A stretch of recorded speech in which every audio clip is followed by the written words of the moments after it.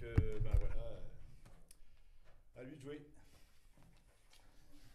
Je vais remercier Jean-Michel aussi. Jean-Michel qui va m'assister techniquement.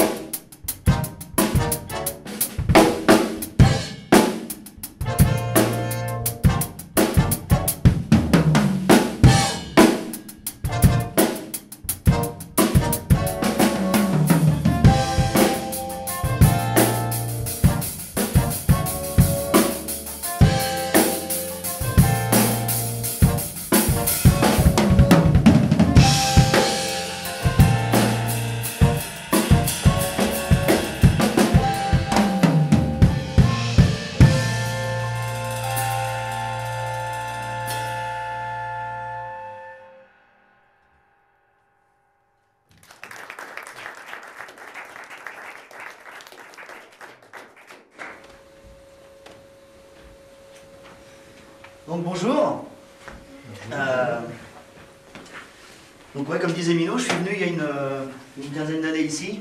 Il y en a qui n'étaient même pas nés. je suis content de vous voir tous ici. Et euh, donc j'ai commencé la batterie, euh, j'avais 12-13 ans à peu près. Et j'ai commencé à travailler sur des disques, parce que je savais pas lire, j'étais autodidacte et j'écoutais tous les disques de mon grand frère. Donc je m'étais entraîné sur des disques comme Supertramp, Genesis, euh, Yes, euh, Joe Jackson, enfin la musique de l'époque, Taylor Swift, tout ça. Et je me contentais au début de faire que des rythmes de, de base. Donc je travaillais avec des, bases de rock, donc une base de rock, une base de blues, une base de ternaire, une base de valse, une base de tango, une base de marche, etc. J'avais une dizaine de rythmes de base comme ça. Et j'allais faire le, le jam avec tous les groupes de balles qui jouaient dans mon coin. Ah, j'étais gamin, j'allais jouer. Et puis je leur demandais à chaque fois de jouer, un- de, de- de jouer un morceau.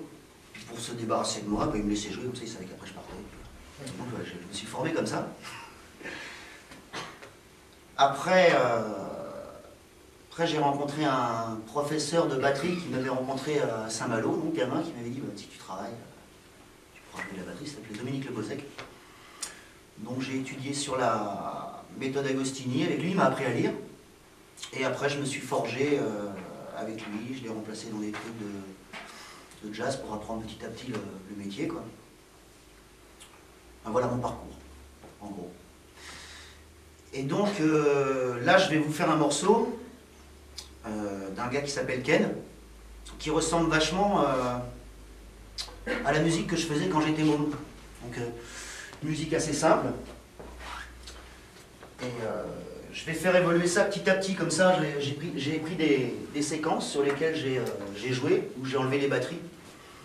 Comme ça, je vais pouvoir vous faire partager quelques trucs différents que j'ai fait au long de mon parcours. Et donc là, bah, je vais le charger. C'est un morceau de Ken Webb qui s'appelle euh, We Can Be Love.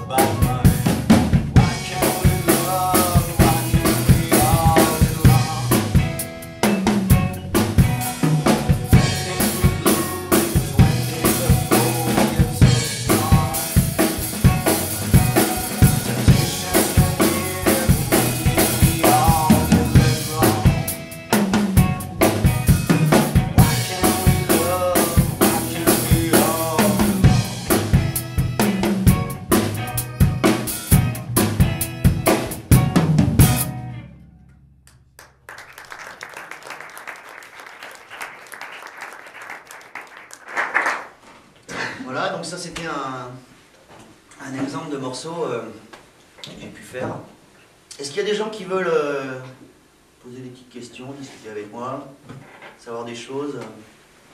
Ouais. Vous euh, êtes un gaucher qui joue avec une batterie de droitier, ou alors vous êtes un droitier qui a décroisé, vous avez d'emblée appris en décroisant, vous avez secondairement après décroisé les bras. Euh, je suis un gaucher des mains, droitier des pieds, donc comme ça, j'ai commencé comme ça, par le fait d'être autodidacte justement, Mhm. et euh, bah, je me suis habitué à jouer comme ça pendant 3-4 ans. Il m'est arrivé de travailler un peu de l'autre côté, mais euh, je ne le sentais pas. Mhm. J'ai gardé ce. J'ai gardé cette façon de jouer là. Alors ça a un avantage euh, pour jouer un petit peu de, de musique euh, latine, tout ça, parce que le- les, beaucoup de batteurs cubains jouent de cette manière-là. Parce que eux, ils utilisent la batterie comme, euh, comme apport des percussions. Alors que nous, ça a tendance à plus être le contraire. Et eux, donc, ils jouent beaucoup euh, les bras décroisés, la clavicine, la cloche là, le timbal. Donc ça se fait beaucoup chez les percussionnistes. Donc ça a cet avantage-là.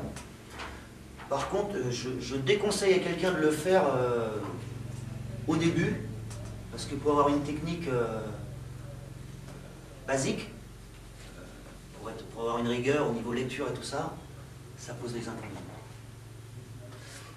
L'inconvénient que ça pose, c'est qu'on n'est jamais, on jamais sur la main dans lequel le sens, euh, dans lequel les tomes sont orientés. Euh, mettons si je joue là.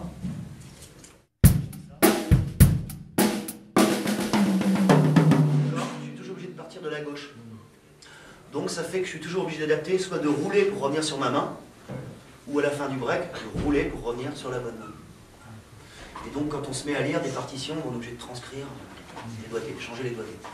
Donc au début je déconseille de le faire, mais pour quelqu'un qui veut avoir un apport latine, euh, jouer de la musique un peu africaine, brésilienne, ça a un intérêt. Un avantage. Merci. Est-ce qu'il y a quelque chose d'autre Vous voulez savoir Non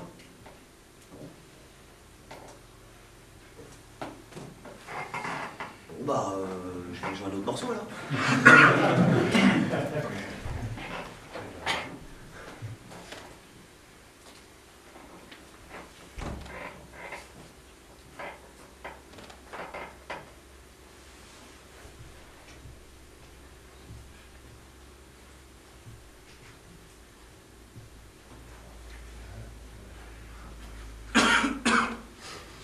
Alors là, c'est un morceau euh, du même gars. Et euh, j'ai joué ce truc-là euh, de manière. euh, parce que moi, moi ma, façon de jouer de la batterie, c'est. je, joue pas de musique brésilienne pure, de musique cubaine pure. Je, je suis jamais vraiment à rentrer à fond dans, dans chaque culture parce qu'on peut, on peut pas tout apprendre. Je peux dire qu'à la base, je suis un batteur de rhythm and blues, binaire, de funk, dans, le, dans lequel j'aime bien amener des, des couleurs euh, un peu latines, alors des couleurs brésiliennes, euh, un peu de 6-8 africain, un peu de... J'essaie d'aller piocher partout pour, euh, pour amener certaines couleurs. Et dans ce morceau-là, c'est un exemple de, de ce que je peux amener. Un peu de 6-8, un peu de reggae, un peu- voilà.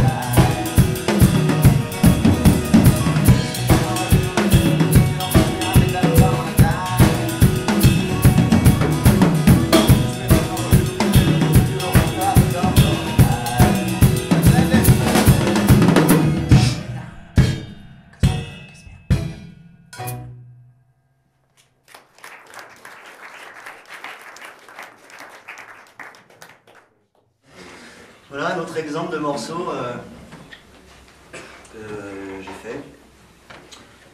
Sinon, alors j'ai pas fait que ça. Après, petit à petit, je me suis mis au jazz. J'ai commencé à écouter George Benson, Al Jarreau, euh, jazz funk. J'ai écouté euh, Hancock, de Toujours en gardant ma, ma manière de travailler la batterie sur des disques. Que je fonctionne euh, beaucoup plus en relevant des fragments de chaque batteur que j'aime bien. Et euh, donc bah, petit à petit, euh, j'ai évolué avec des groupes différents, dont un, un trio avec lequel je joue, on est en train de monter à l'heure actuelle, avec Gaëtan Nico et Étienne Canac. Et ça va donner le morceau qui va suivre. Mais il n'y a personne qui veut me poser des questions, sinon je vais plus avoir de morceaux. Il n'y a aucune chose que vous voulez savoir?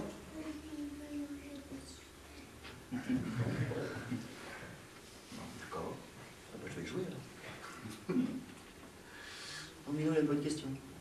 Si, si, euh, moi je voulais savoir en fait euh, comment toi t'appréhendes la façon de, de travailler débits. Parce que euh, en fait, dans ton jeu, euh, voilà, euh, tu penses par 4, tu penses par 6, tu penses par euh, je ne sais combien. Ouais. Et, euh, et là-dessus, tu as même tout un tas de décalages et de rythmiques superposés en fait. Et je voulais savoir comment toi t'appréhendes ça.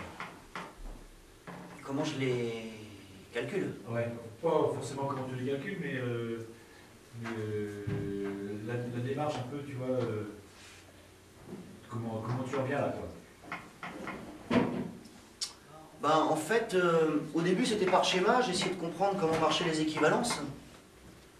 Donc, euh, avant de faire des polyrythmes, euh, je pense qu'il faut d'abord bien connaître tous ces débits.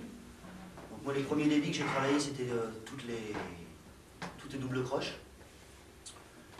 Et j'ai travaillé bon, bah, tous les débits de double croche, la première double croche, la deuxième, la troisième, la quatrième, par deux, tout ça, pour bien, bien savoir où je me situais. Et après, euh, quand on connaît bien ça, on peut faire euh, des équivalences de rythme. Alors au début, j'ai commencé à travailler tout ce qui était euh, des bits doubles. Donc je m'amusais à, admettons, je, prends un rythme, je tiens ça en, en Charlie Kessler.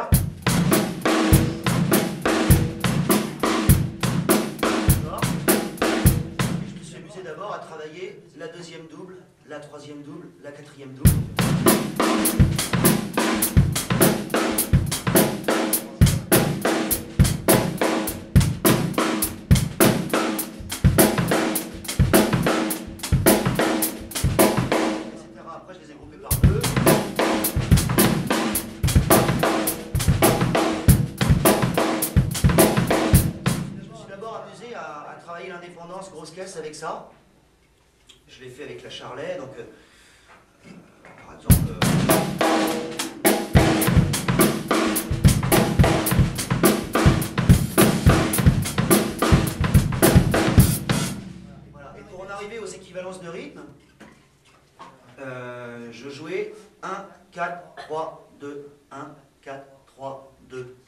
Prend les doubles croches,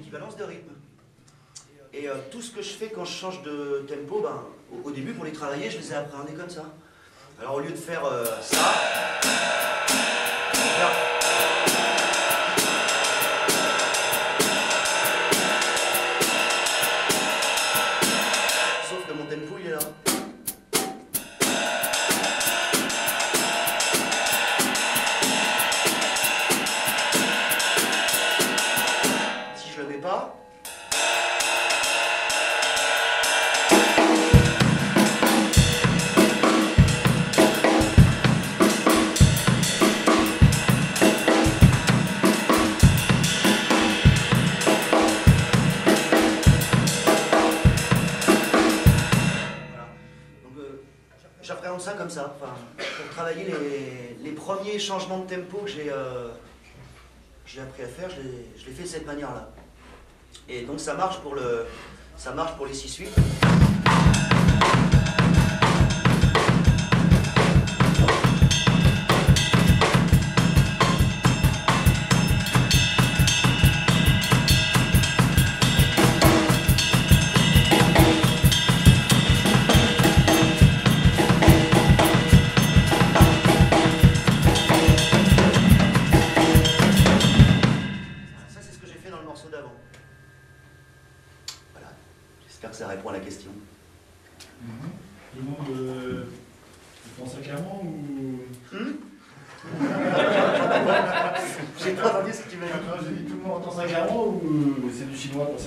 En fait, si vous voulez, peut-être ce qu'on peut faire, c'est nous, on, on- on tape un tempo et puis toi, tu, tu, Ouais. tu joues l'équivalence pour qu'on se rende bien compte en fait euh, de là où est le tempo. Parce que euh, si on a. enfin, je sais pas si c'est voilà, si clair pour tout le monde, mais, euh, mais en fait, euh, je peux essayer d'appréhender les débits. d'avoir toujours en, en- en tempo interne une division par 4, mais un champ par 3. Donc, euh, C'est ça. C'est ça. Donc, euh, bah, donne-nous un tempo, puis on va essayer de le tenir, nous, tous ensemble. Et puis, toi, tu décales et tu te rends compte comment ça. Ok? C'est ça? Voilà.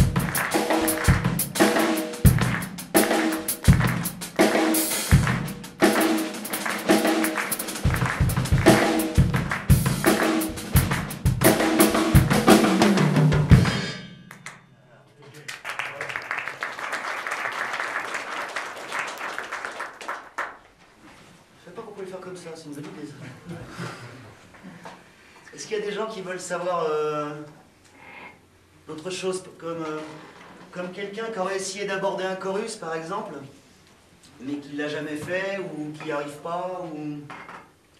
Parce que c'est quelque chose qui est intéressant ça aussi. euh. On, joue de la batterie, on apprend des rythmes, on lit, puis un jour il faut choruser et... Puis on sait pas trop comment s'y prendre, on l'a jamais fait, on se demande comment faire. Euh, Est-ce qu'il y a des gens qui se posent cette question-là, euh, qui voudraient savoir des choses,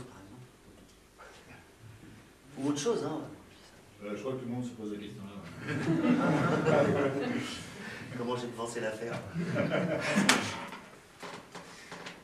Bah moi, je fonctionne... euh, Pour moi, il y a deux façons. Enfin, moi, je fonctionne de deux manières. Donc, soit... euh, Soit je pense à un percussionniste. C'est une chose que j'aime bien faire, ça. Et euh, un percussionniste sur un tempo, par exemple. Là, on a le milieu de la percussion. Et là, on a le bord. Et ce que je fais souvent, moi, c'est que le bord, c'est la caisse claire. Et le milieu, souvent, c'est les tones. Et euh, pour les gens qui, euh, qui jouent un petit peu de percussion, euh, c'est une manière de pouvoir apprendre à choruser de, pour commencer. De, de manière assez facile. Euh, je donne un exemple.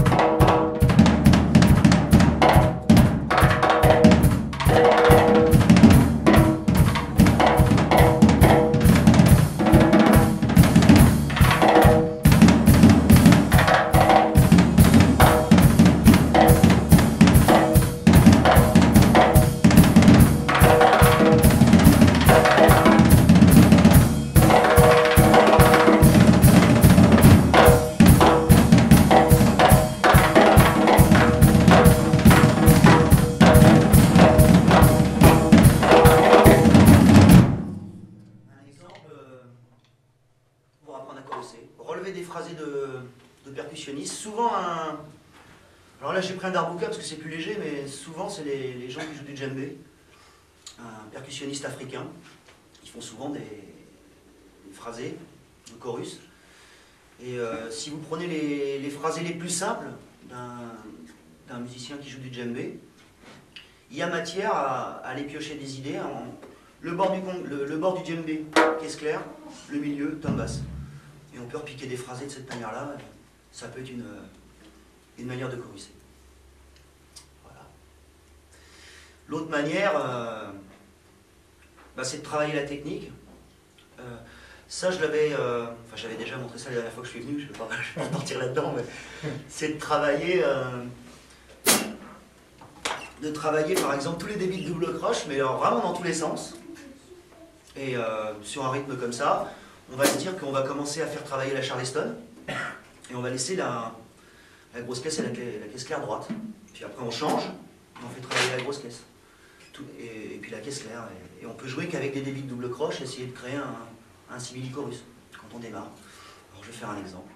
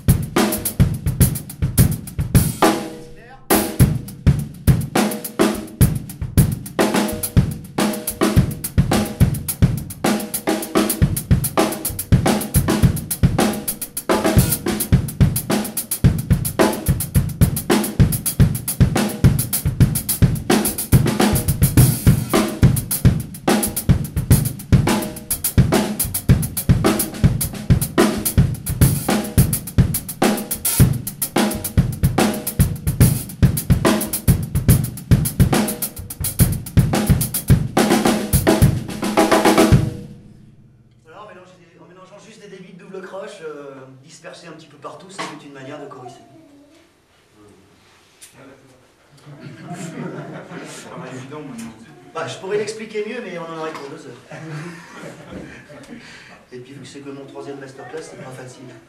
Alors vous pouvez le faire avec les tomes aussi. Hein. Vous prenez pareil, un tempo, une charlet, euh, vous jouez vos doubles.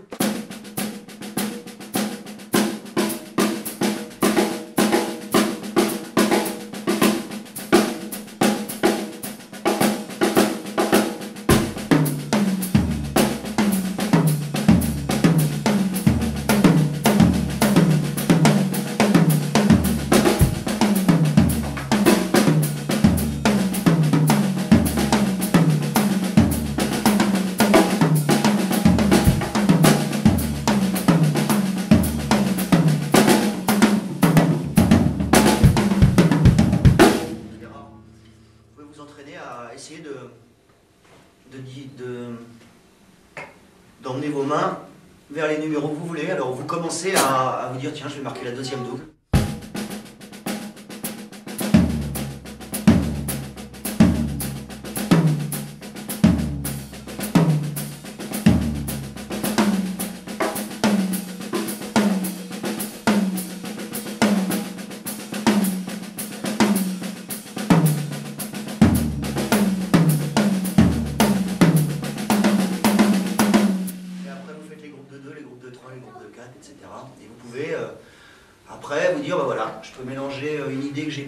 Le truc du Darbuka, une idée que j'ai pris sur le truc de la caisse claire, la grosse caisse, les tomes. Ça peut être une manière, quand on n'a jamais chorissé, d'essayer de se dire, essayer de commencer comme ça. C'est pas la seule manière, hein, les tomes. Après, il faut euh, beaucoup de temps pour... euh, et puis chaque, euh, chaque batteur a une version différente du, du chorus. Donc voilà. Est-ce qu'il y a d'autres questions? Chose que vous voulez savoir. Moi, je voudrais savoir, euh, je peux être tout dans ce domaine-là, moi. mais euh, quand, quand vous, par exemple, quand vous chorissez, euh, est-ce que vous écrivez après D'un point de vue, euh, je dirais, sur la durée, quoi. Quand, quand vous avez une idée, un truc qui vous plaît, ça passe à, à l'écriture ça reste quelque part dans votre... Pour arriver à jouer le... Si après vous voulez euh, réintégrer ça dans un morceau, par exemple... euh, ou- Ah oui Ouais, vous voulez dire si je fais un chorus qui me plaît, que je voudrais refaire. Est-ce qu'on arrive à Ah bah de toute euh, façon, ouais, si le chorus est compliqué, le, le- le seule manière c'est de l'écrire. Enfin, ou d'écrire ce dont on se rappelle plus, mais... Mais euh, à chaque fois que j'ai essayé de faire ça, euh, mon chorus a jamais sonné comme la première fois, parce que ah refaire ce qui a déjà été fait, moi. Je l'ai fait, mais. Alors, ça m'est déjà arrivé, hein, mais. euh, ça, ça- faut que ça reste instinctif, un chorus. J'aime bien le côté instinctif. J'ai horreur d'écrire un chorus et de le jouer. Mais par contre, oui, euh, pour apprendre à. Pour apprendre à, à chorisser, on peut d'abord écrire, euh, écrire des choses, hein, euh, écrire des petits fragments, les mettre bout à bout. Ça, c'est oui, ça peut être une. Ouais, parce qu'il y, a- y y plusieurs façons d'apprendre en fait. Il y a, il y a Ah une oui. méthode qui consiste à, à répéter, par exemple pour- quand on est en formation, hein, j'entends. Et puis après, quand on a acquis euh, certains gestes, euh, quand on a acquis de la culture aussi, c'est vrai qu'après ça sort un peu plus spontanément. Mais je pense à des gens qui sont en formation, vraiment, euh, ça doit pas être facile de, se retrouver un petit peu pour l'instrument et puis de d'actionner quoi en fait. Hum, hum, hum. Hein. J'imagine. Ah ouais. Je connais pas l'instrument. hein. Mais ouais, ouais, c'est une bonne manière de. Au début d'écrire, d'écrire des fragments de, faire des petits relevés. Alors, soit des relevés, soit des idées qu'on a en tête. Euh, soit faire un truc qu'on n'a pas fait exprès et, le réécrire pour le garder. Oui, c'est aussi une méthode. C'est toujours acquis. Euh, Pour compléter ça, si tu bien, en fait, euh, ou l'écrire ou l'enregistrer, parce que maintenant c'est un peu facile d'enregistrer, euh, donc euh, même avec euh, voilà, le, le moindre petit capteur, en fait, on- c'est possible de l'enregistrer parce qu'un fragment de chorus, enfin, je, je pense, me si je me trompe, mais c'est plus sur euh, une mélodie ou une combinaison que, que sur vraiment euh, un truc d'écrit avec des remplissages et tout ça. C'est euh, vraiment plutôt une, une petite séquence qu'on a en tête. Pour pas la laisser échapper, bah, c'est pas d'enregistrer ou d'écrire. Mais, euh, mais peu importe la méthode. euh, Mais c'est ça, c'est la méthode quand même, quoi. Je veux dire, c'est un peu, comme pour tout, moi je me questionne là-dessus, parce que comment on apprend, que ce soit avec un instrument comme ça, ou un instrument avant, ou, même euh, quand on apprend tout court euh, des choses plus, euh, je dirais, plus, plus abstraites, quoi. Et, c'est vrai que c'est intéressant de savoir comment quelqu'un qui est en formation va, va réutiliser ce qu'il fait pour, euh, pour avancer, et puis pas un an après rester au même point, quoi. Ouais. C'est un peu le, tu vois. En fait, euh, à partir de, de- d'une phrase ou à partir Ouais. d'une petite mélodie qu'on a en tête, à partir de là, il faut essayer d'extrapoler tout le temps et tout le temps et tout le temps. Et c'est épatant, en fait. Ouais, puis ça marche par inspiration. Parce que. euh, je- voilà, j'avais écouté, euh, je me rappelle d'un batteur, Boumar Hakim, lui. euh, alors lui,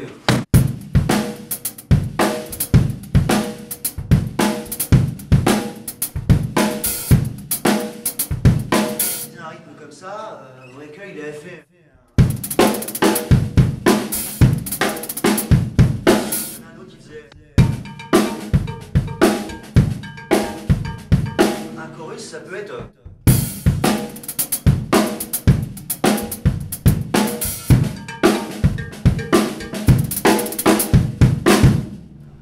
Moi, j'ai beaucoup travaillé comme ça au début. Je relevais des bouts, des trucs qui me plaisaient, mais, par contre des trucs qui me plaisaient, que je pensais dont je pensais qu'ils allaient ensemble. On va toujours faire du, du copier-coller, mais euh, j'ai vachement fonctionné par inspiration. Et euh, ça, c'est encore une autre méthode pour, euh, pour être amené à, à chorisser, à avoir des idées. Et plus on en a, ben, après on sort de ça, après on compte plus les doubles, on, on pense plus aux fragments, on, voilà, on joue ce qui nous passe par la tête. quoi. Quand on n'est pas trop tendu. voilà. Est-ce qu'il y a autre chose que vous voulez. euh, Est-ce que vous continuez à travailler encore votre instrument et quand vous travaillez, qu'est-ce que vous faites? Les masterclass. Non, c'est mon troisième. ouais, je continue à travailler ma batterie. euh, euh, mais euh, c'est toujours sur des relevés, comme, bah, comme ce que je viens de montrer en fait. Et là en ce moment, je suis en train de travailler sur un truc où je joue la clave au pied. Et, la grosse caisse, je, je fais ça. Avec un woodblock. Et là, pour arriver à me débrouiller de ça, bah, je commence à marquer mes doubles croches, mes numéros. et Voilà. Parce que mon but après, c'est d'arriver à, à faire ça au pied et, et à jouer ce qui me passe par la tête. Le problème, c'est que ça bloque. Parce que ça demande une indépendance. hein.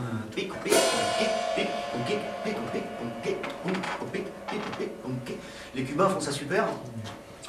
Seulement, euh, bah, plus on rentre là-dedans, plus c'est dur. Et euh, en ce moment, parce que je ne sais pas encore faire, c'est ça, et je travaille là-dessus. Donc je me mets un woodblock au pied, je travaille, euh, je fais ça.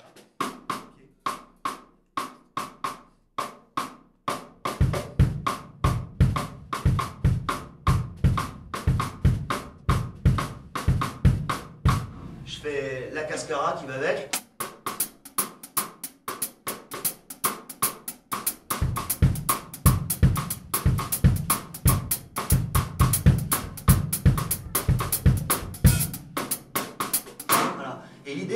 Pour se libérer les mains, c'est d'arriver à. bah, il faut un membre de plus. Donc euh, ça, euh, bah, ça, on fait.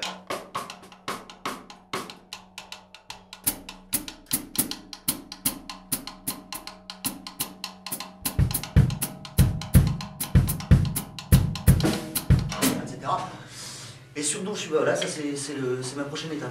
C'est mon prochain rêve, d'arriver à, faire ça au pied, ma grosse caisse là, euh, un cascara. Alors au début, bah, je vais ramer, je vais compter mes, je vais compter mes croches, mes doubles croches, parce et si j'arrive pas à le faire, bah, là, je vais, comme dit le monsieur, je vais écrire, regarder où ça se positionne, pour pouvoir voir là où je bloque, voir là où est le problème. Parce que des fois, il suffit d'un pauvre schéma qui, sur lequel on bloque, et, si on rentre pas dedans, de toute façon, on y sera confronté à un moment ou un autre. Et alors donc là, je vais aller voir dedans, je vais regarder où c'est. Puis quand je vais y arriver, bah, je vais commencer à jouer des phrasés euh, avec une, percussionniste qui est là. Je vais commencer à, à chercher des trucs tout en tenant ça. Voilà. Moi, ce que j'aurais tendance à travailler en ce moment, c'est ça. Et tout votre travail, vous faites au clic encore ou sans clic euh, Vous faites encore avec le clic Avec le métronome ou Non, l'utilise. Le clic, j'utilise pas trop. plus besoin C'est euh, c'est vrai qu'à une époque, euh, on entendait vachement de, de, de productions faites où les, où les tempos accéléraient beaucoup, tout ça. Et les clics, souvent, euh, ça servait dans les, dans les productions de studio, les grosses productions américaines qui ont commencé à mettre des, des machines en synchro pour que les machines ne se décalent pas, pour, euh, pour pouvoir jouer, parce que la machine ne peut pas nous rattraper.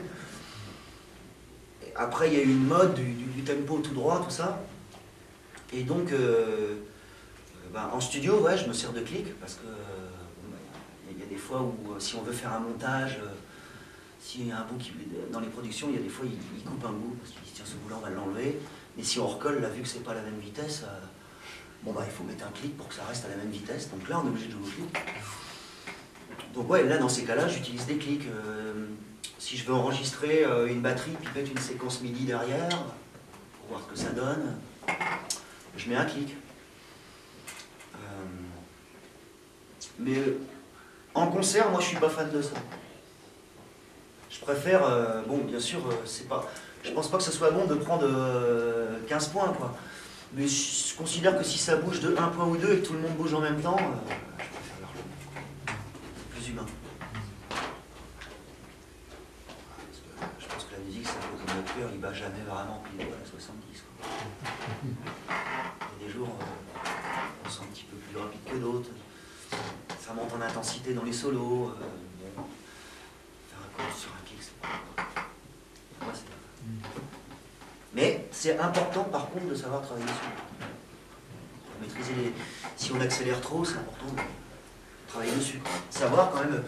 Faut pas se dire j'aime pas le clic pour l'éviter. quoi. Faut quand même, quand même travailler sur un clic. Mais c'est pas indispensable pour jouer partout où on passe. Puis ça se prête plus à certaines musiques que d'autres. Euh, Vous ne voyez pas Charlie Parker, Miles Davis. euh, avec des clips. Genre de trucs. Vous voyez, ouais, euh, David Bowie, euh, and Fire, et encore pas tout le temps. Les, groupes de funk, jouaient euh, beaucoup, les grosses productions de funk, les Bee tout ça. Le disco, ah oui, ils mettaient des clips.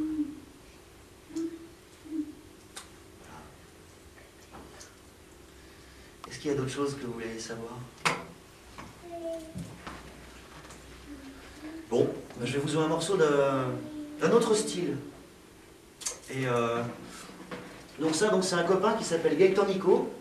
On est, euh, j'en suis au tout début avec ce groupe-là. On a fait 4-5 répètes. Et chez moi, bah, euh, je me suis acheté un petit multipiste. On s'enregistre systématiquement en, multipiste. Et donc j'ai enlevé ma batterie. J'ai posé un clic fictif sur le morceau pour pouvoir euh, vous le présenter. Et euh, lui, il a la particularité de jouer du jazz et de réarranger des, des reprises de, des années 80 en, en jazz. Donc je vais vous le jouer et puis euh, on fera un blind test, vous me direz euh, si vous avez deviné. Toi, t'as pas le droit. Rien. À tout de suite.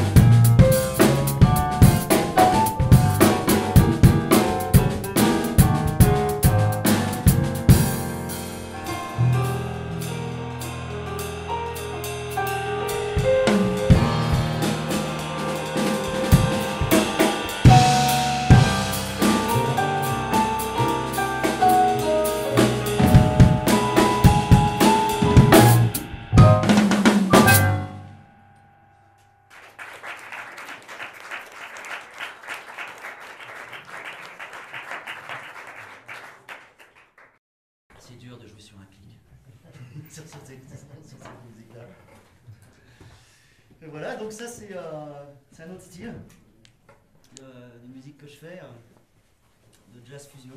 Et, euh, moi je me suis dit tiens j'ai pas envie de faire la même chose euh, en même temps.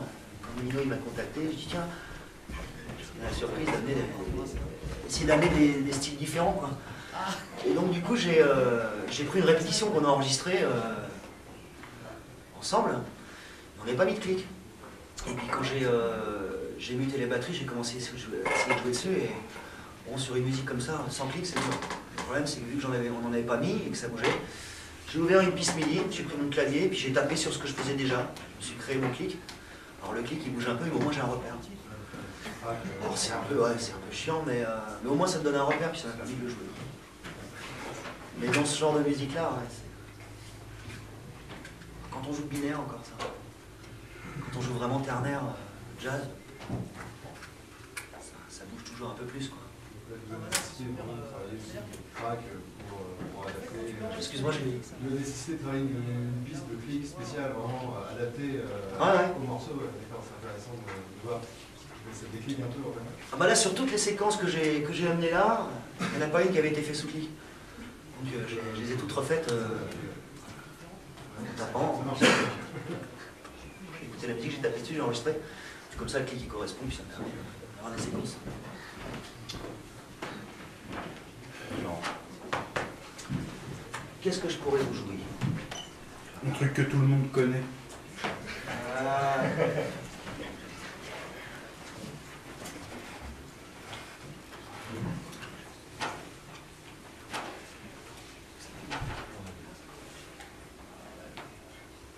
J'ai rien que tout le monde connaît.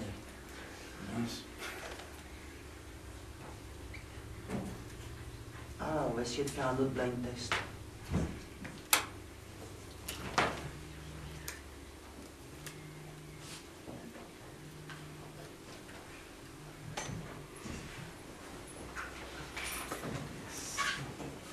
Celui-là, c'est sûr, vous le connaissez. Je me risque parce que je ne l'ai pas répété, mais ça me fera un challenge.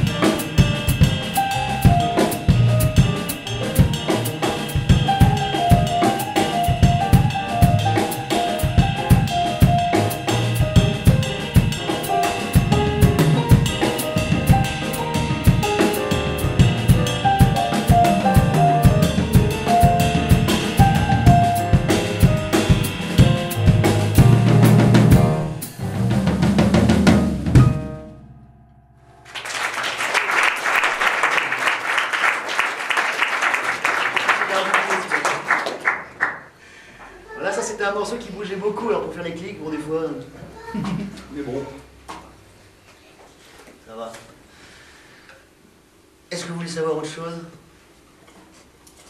Question sur, euh, je sais pas, des choses que. des choses techniques, comment régler la batterie, euh, je sais pas, plein de choses. Personne? Au niveau, au niveau composition, euh, comment t'aimes bien travailler euh, On t'amène les morceaux, enfin on t'amène les mélodies, tu composes dessus ou c'est toi qui amènes des rythmes et ça inspire les autres Comment ça se passe? Euh, sur ce projet-là, euh, le pianiste, il est, arrivé avec les arrangements, enfin toutes les métriques d'arrangement écrites. Et euh, je, relève toutes les. Je suis, de, je suis vraiment obligé de compter toutes les mesures parce qu'il il rajoute des temps, il change la métrique à tel endroit. Donc là, en fait, j'écris toute toute la trame rythmique du morceau. Et euh, je repère où il a mis sa mélodie.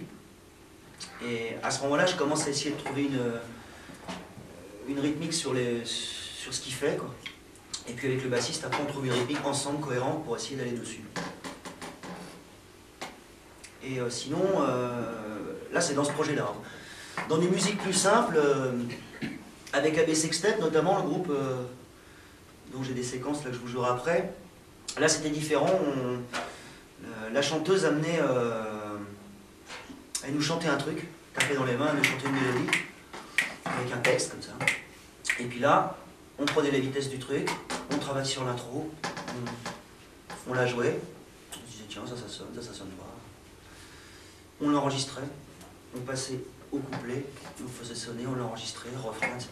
On faisait tourner le tout, et en réécoutant, on se disait tiens, on va changer ça, tiens, on va garder ça, tiens.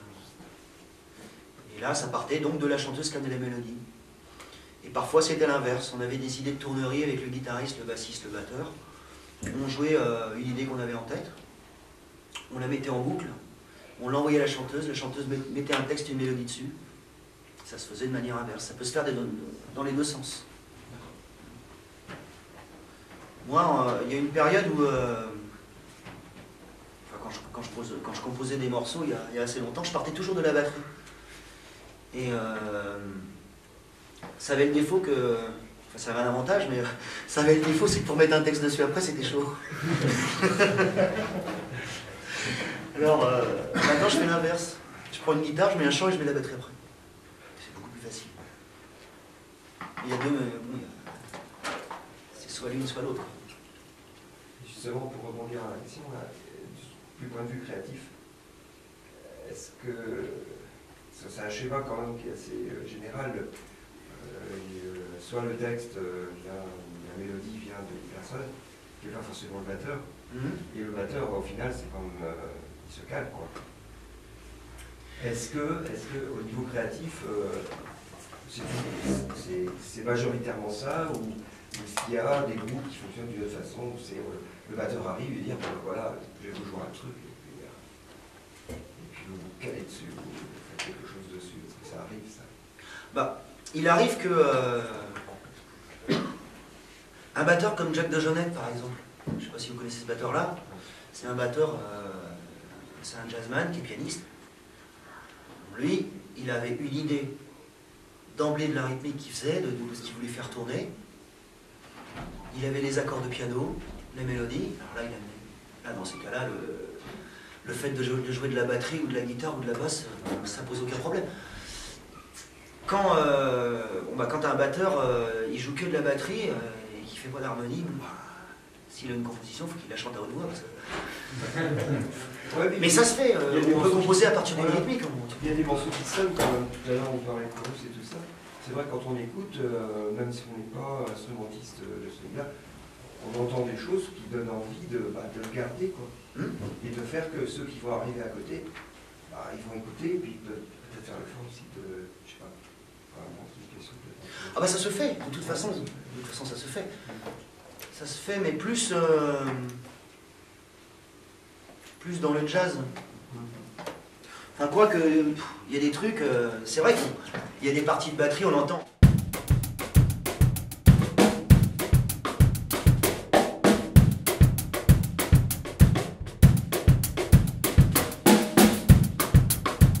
Cette partie-là, bon bah c'est Chadé, euh, suite à on la connaît. Si on entend un...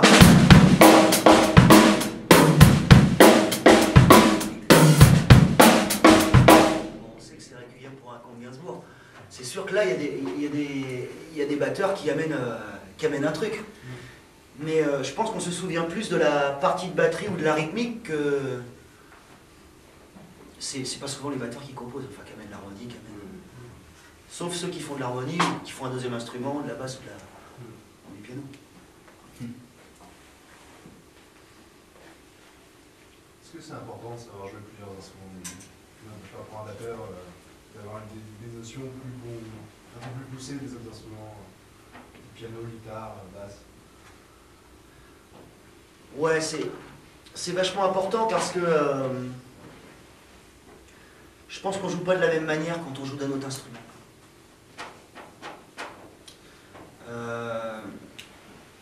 Un batteur qui joue euh, de la batterie, par exemple, on va lui donner ça comme schéma.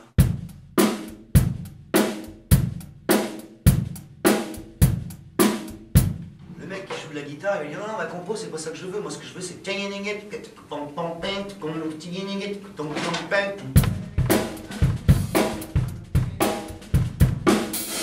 Pas la même partie batterie. Alors, un batteur qui veut composer, euh, qui joue de la guitare, il va composer son truc. Et je pense qu'il va être plus à même de, de, de composer une partie de batterie adéquate à son truc s'il fait un autre instrument. Parce qu'il va être ouvert à. Puis il va mieux comprendre à la limite s'il accompagne quelqu'un ce que le mec va lui demander aussi. Parce qu'il a, déjà été à sa place. La communication entre Ah. euh, Il y a ça aussi. Ça y fait, ça fait quand même vachement. Et euh, puis, puis, bah, puis pour l'har- l'harmonie, c'est quand même euh, important de connaître l'harmonie. Sans être un lecteur acharné, euh, je pense que c'est bien un peu de basse. Souvent les batteurs jouent de la basse, mais euh, je sais pas, ou jouer du marimba ou de la guitare ou du piano. Voilà. Est-ce qu'à l'inverse, c'est bien de faire passer les autres musiciens derrière la batterie un peu pour qu'eux comprennent Ah ouais, ouais, mais si- s'ils arrivent à tenir un rythme, parce que c'est. Quand t'as jamais fait de batterie, euh, c'est très social. Bah, c'est comme si tu joues de la guitare, tu connais pas un accord. quoi. Mais euh, oui, de toute façon, tout est bon. Tout- tout est open, euh. Euh, il doit être un peu ouvert sur les autres instruments pour, pour essayer justement de mieux comprendre. Alors, moi récemment, j'ai eu Alan Stival, il est passé derrière ma batterie. Il, il m'a montré un pattern, un truc. Il me dit je joue pas de batterie, mais euh, alors ça se fait. Il a fait quoi Ah, il me faisait un. Il, me disait, en fait, il m'expliquait qu'il voulait. Euh, C'était. euh, C'était un, andro. Moi je, moi, je le jouais comme ça.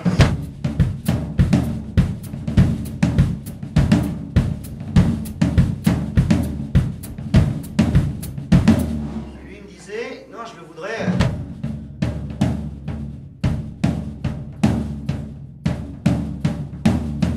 Et là, j'ai décodé qu'il voulait.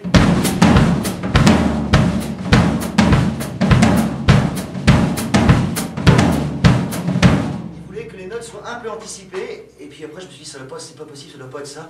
Et en fait, c'est qu'il voulait que le truc soit plus souple et.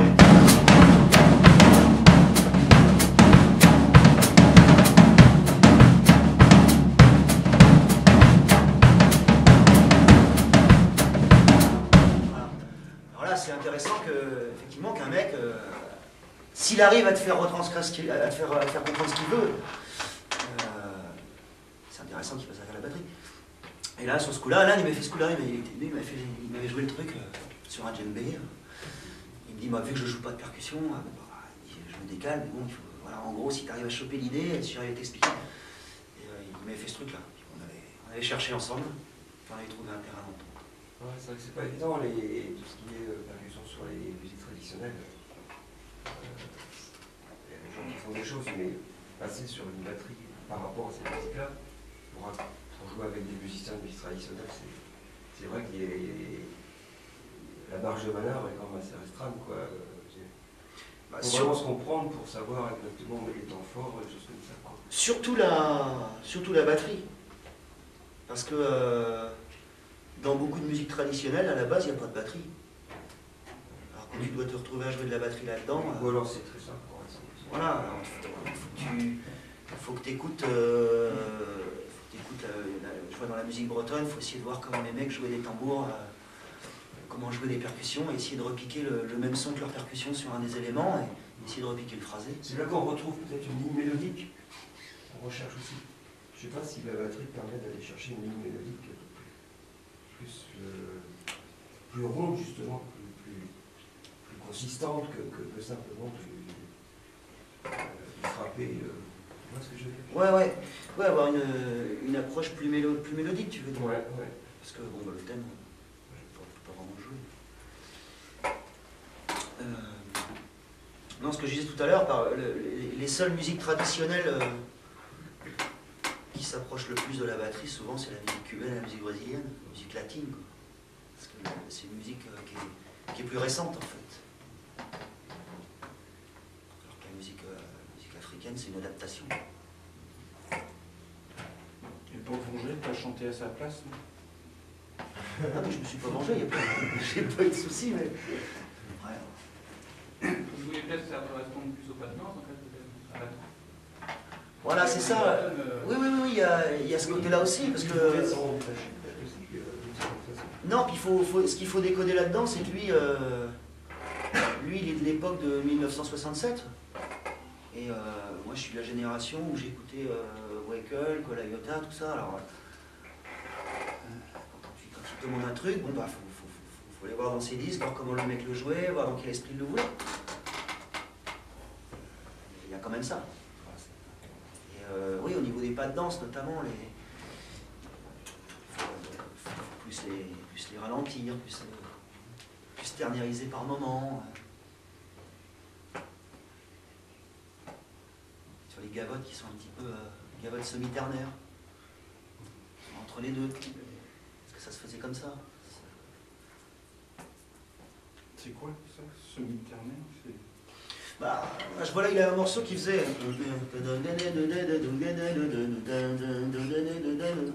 Il m'avait expliqué, il me dit Moi, je voudrais, bon, je- veux quand même que ça soit moderne. Euh, bon, bah, je suis, on avait fait un truc simple, avait pas.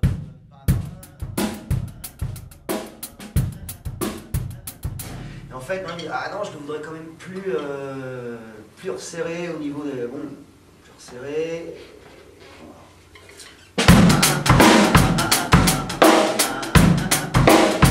Du ternaire donc. Non, il ne voulait pas ternaire non plus, il le voulait entre les deux.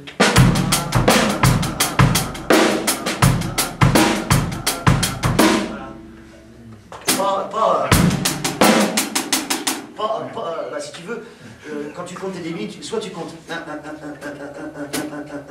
Oh là. Si tu fais ça, c'est pas pareil que. Ça, c'est pareil. Ça, c'est pareil. Si tu fais.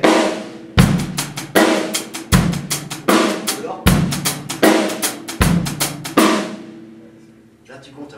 Tu vois Là, tu comptes. Donc, ternaire. J'ai compris. C'est les triolets, mais avec le, le 2 en au milieu. Et donc, euh, mais il voulait pas ça non plus. Il le voulait plus souple. Donc, euh, au, lieu de, au lieu de jouer tu, tu arrondis. C'est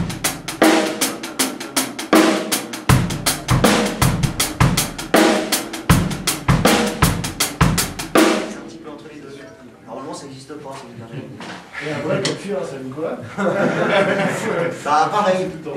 Pareil. Ouais.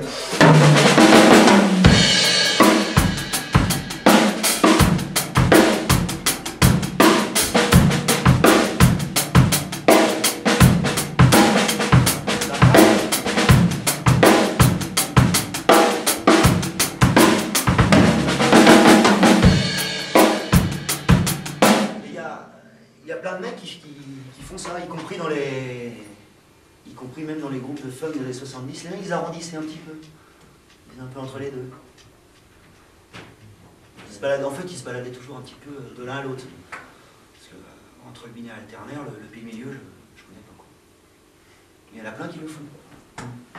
C'est le fait de jouer plus souple. Pour donner un côté plus. moins taille à la musique, quoi. Est-ce que vous avez travaillé avec un percussionniste? Ouais. Et comment est-ce que vous faisiez pour, euh, pour vous arranger pour les breaks les... Est-ce que c'est des breaks que vous travaillez à deux ou alors chacun à votre tour vous laissez un peu plus de place? Que. Bah, avec, euh, avec le groupe Rumbayaz, euh, c'était un groupe de, de musique cubaine que je faisais, mais euh, à consonance funk. Le but c'était de faire jouer des Cubains avec des musiciens euh, d'ici qui eux jouaient plus rock ou funk, de faire une sorte d'afrobeat funk. Et on avait des, on intros comme ça qui faisaient, euh,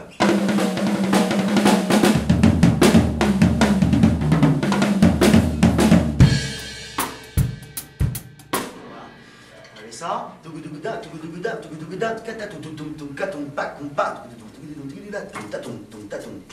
À À l'unisson. Alors là, dans ces cas-là, t'écris tout. Au début, euh, alors si tu rentres dans le groupe quand il vient de démarrer, bon, bah, tu, tu prends les morceaux un par un. Moi, ce qui m'est arrivé, c'est que le batteur d'avant s'est barré, il avait 25 à se prendre. Et, euh, En combien de temps euh, des 15 jours. Bah, tu mets une semaine à. Tu mets 3-4 jours à relever pour prendre ton temps et puis tu te mets 2-3 jours à aller bosser chez toi.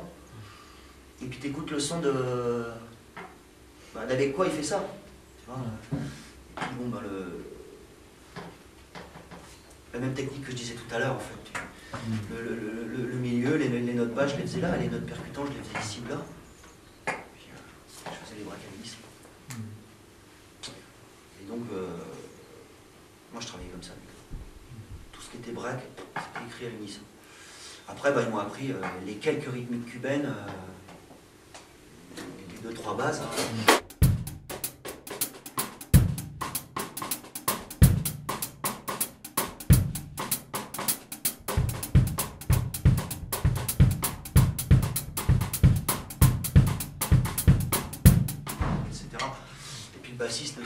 1, 1, 1, 1, 1, 1, 1, 1.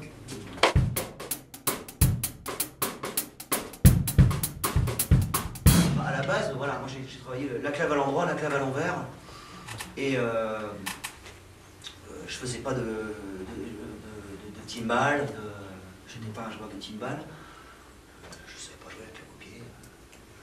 C'est une culture, c'est. J'ai eu l'occasion d'aller à Cuba euh, faire un stage, c'est tout à revoir. C'est. C'est pas du tout la même manière de jouer. Ils jouent, les, le conga d'une main, ils jouent la clave d'une autre, la grosse caisse comme ça. Des fois, ils, en- ils enlèvent la main de la clave, ils la jouent au pied, ils jouent les timbales. Puis il y, a- il des codes, il y a les montunos, il voilà, il y a tout ça, c'est tout un langage à réapprendre et on apprend pas ça en 10 jours. Donc, euh, un mec m'avait conseillé de faire ça. Tu marques, les, tu marques les claves en 2 et 3, la clave en 3 et 2, tu travailles un peu ton indépendance. Et puis, euh, avec Rumbayas, bah, j'avais fait ça dans les morceaux qui étaient un peu plus... Et sinon, souvent, je, faisais je jouais des songos. Euh, au lieu de, de toujours rester 1,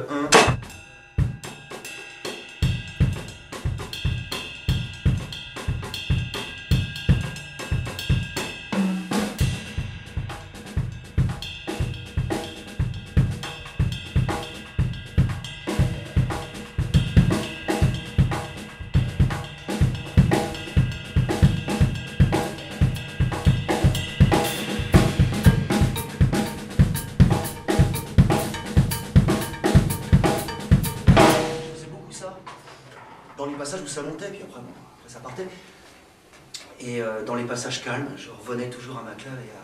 Parce que c'était une musique que je connaissais pas du tout. et Il n'y avait nul autre choix que de faire comme ça. Euh, dans ces cas-là, quand je travaille avec des percussionnistes, je maintiens la base, et puis euh, je marque souvent la base du rythme, parce que dès qu'il y a deux percussionnistes, ça charge très vite. Euh, puis alors, les trucs sont très précis. Donc là, on a plus tendance à faire des rythmiques simples. Et dans Rumbayas, ben, l'idée c'était ça, c'était faire des musiques plus américaines, euh, avec, des, avec, des, percussions traditionnelles.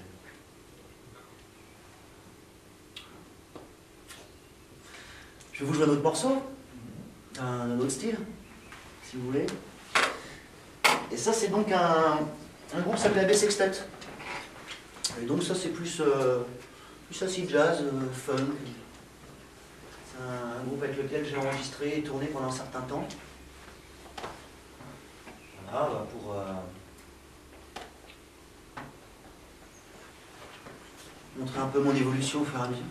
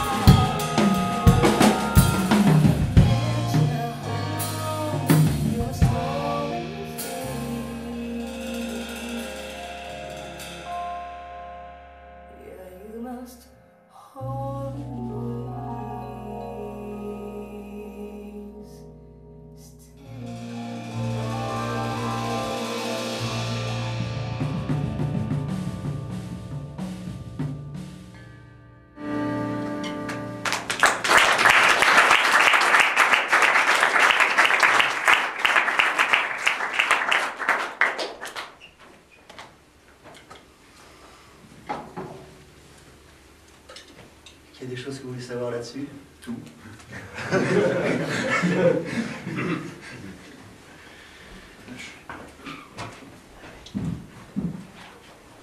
vais vous jouer un, je pense un dernier morceau. Je pense que je vais finir avec un dernier morceau qui s'appelle euh, Welcome to Solidi. Et euh, après, euh, on ira boire un peu ensemble et puis si vous voulez discuter avec moi. Voilà. Welcome to Solidi.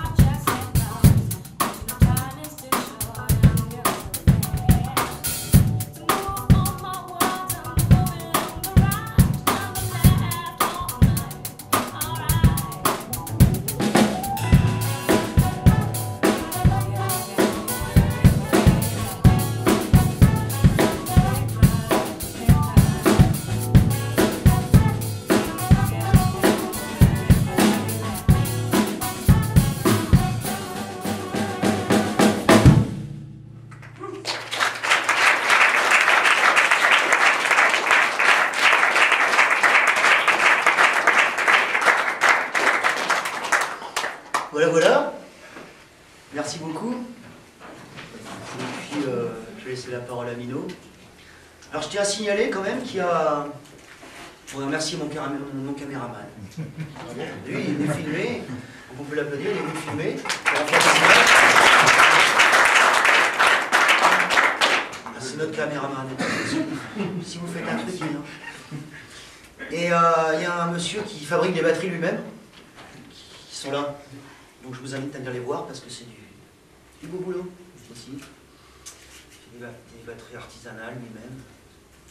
Donc, oui, Jetez un petit coup d'œil. Voilà, merci beaucoup.